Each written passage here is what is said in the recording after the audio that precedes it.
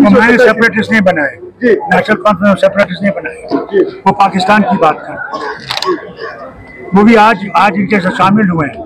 जो कल तक पाकिस्तान जिंदाबाद कहते थे और कहते थे यहाँ पे हम लोग आएँगे वो विज़िट करेंगे। आज वो इनके साथ बैठे हुए हैं। उनसे पूछिए कहाँ गए वो उनके नारे? कहाँ गए वो? हम यहाँ बनाएँगे निज़ाम मुस्तवा बनाएँगे। कहाँ है वो? है वो उनके साथ बीजेपी के साथ बैठे हुए हैं आरएसएस के गुलाम बैठे हुए हैं। तो अभी जो जमात जमात का जो कॉन्टेस्ट कर रहे हैं जो इलेक्शन में उसके बारे में क्या कह रहे हैं? अच्छी बात है। इसके बजाय कि वो इधर उधर जाए तो लोगों को पता नहीं लगे कहाँ खड़े हैं। वो भी सामने आ जाएगा ये कहाँ है। प्राइम मिनिस्टर का कहना है कि ये अगर कांग्रेस और नेशनल कॉन्फ्रेंस वापस आ गए तो यहाँ पे रिवाइव हो जाएगा सब कुछ इंक्लूडिंग मैं प्रधानमंत्री से ये कहता हूँ पाँच साल से यहाँ हुकूमत कर रहे हैं ना ये है ना? जब से इन्होंने तीन सौ सत्तर हटाया। ये तो कहते थे तीन सौ सत्तर जिम्मेवार है यहाँ पे आतंकवाद का। आज तो तीन सौ सत्तर नहीं है तो फिर आतंकवाद आया कहाँ से? ये बंदूक कहाँ से आ रही है?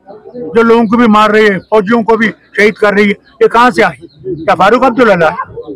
आज तो हमारी हुकूमत नहीं है। इसका जवाब देना वो।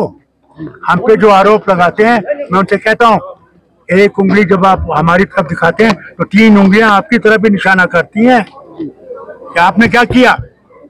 सिर्फ़ लोगों को धोखा दे रहे हो। झूठ बोल रहे हो।